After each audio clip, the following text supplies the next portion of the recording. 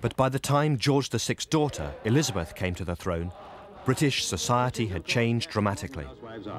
Refrigerators, cookers and cupboards are all in the latest fashion, clean and... And an increasing desire for greater social equality left the monarchy looking distinctly out of step. This turned into a huge public issue in 1957. John Edward Poynder Grigg, 2nd Baron Altrincham, is in hot water.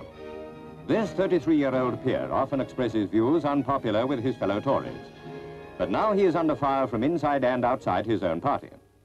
In an article in his journal, The National and English Review, he voices criticisms of the Queen and her court, which roused the wrath of much of the national press.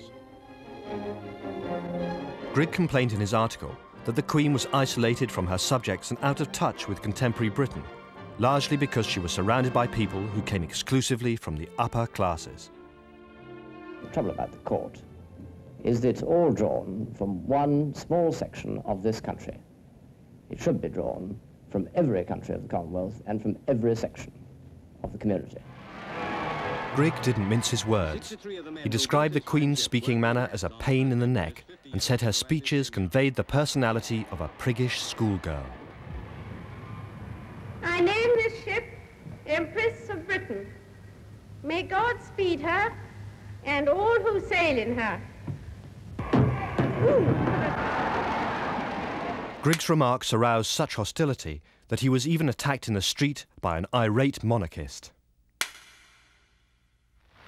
husband and I... That the Queen was thought to be out of touch with the mainstream of British society was hardly surprising. She and her sister Margaret never went to school because their father couldn't conceive of them mixing with ordinary children. So we find the Princess Elizabeth and her sister Margaret, accompanied by their governesses, enjoying a short trip upriver starting from Boulter's Lock. It was not until she was 18 and allowed to join the volunteer army that the Queen had any contact with contemporaries who were not of her class. When the war ended a few weeks later, she and Margaret had a rare experience of rubbing shoulders with ordinary people on the evening of VE Day. My sister and I realized we couldn't see what the crowds were enjoying. So we asked my parents if we could go out and see for ourselves. I remember we were terrified of being recognized.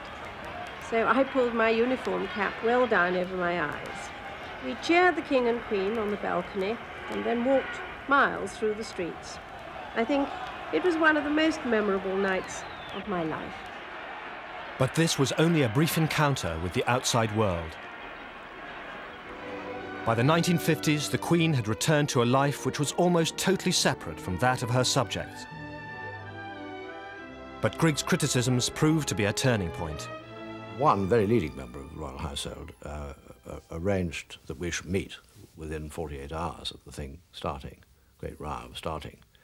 Um, and uh, his first words to me when we met were, this is the best thing that's happened to Buckingham Palace in my time. I mean, we were both strong monarchists and we both felt that change was needed. Not um, excessive change, but, but significant change. To begin with, the monarchy set about changing some of the social events which associated it with privilege and wealth. The practice of presenting debutantes to the Queen, upper-class young girls coming out into society for the first time, was abruptly terminated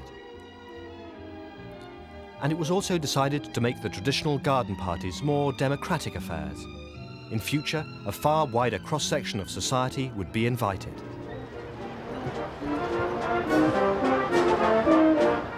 Today, three garden parties are held at Buckingham Palace every summer, and over 8,000 people attend each one.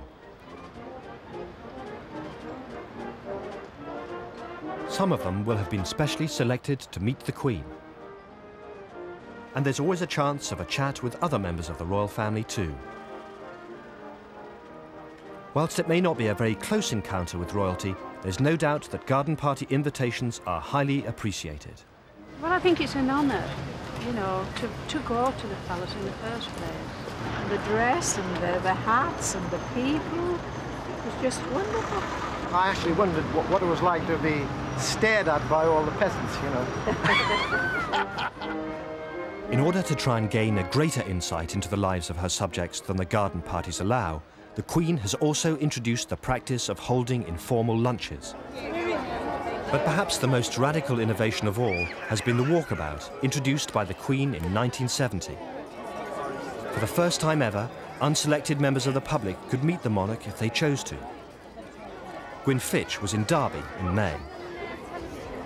Well, today I've uh, found out that the Queen's is going to walk from the recreation uh, centre by coming down a ramp, and uh, it's said that she will do a walkabout. So hopefully, um, with all the flowers that are along these barriers and my flowers, she'll walk over. And I've also managed uh, to bring with me this time um, a photograph I took last year of Sandringham Gardens. So I'm just hoping um, that I'll get that opportunity to, to hand them to her and tell her about my visit. The far greater accessibility of the monarchy in recent times can be seen from surveys, which show that 1 in 12 people have met a member of the royal family. Many of them on walkabouts like this Your one. Majesty. Yeah. Hello, Your Majesty. make, make, make them. Ah. I wonder if you would accept this picture. I took it of you of your gardens in Sandringham about a year ago, Oh. and I thought, well, you very rarely have the chance to see Sandringham. Well, I hardly ever see it in the summertime. I know, anyway. that's what I thought, and uh, some flowers. It's Thank you. lovely to see you. very kind. Wonderful to see you. Oh, that's very kind. Thank you very much.